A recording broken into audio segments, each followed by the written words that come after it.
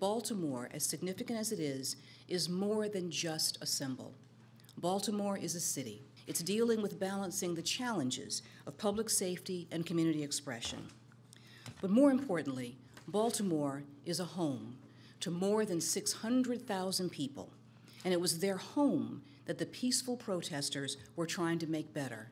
And it was also their home that the injured officers were trying to protect.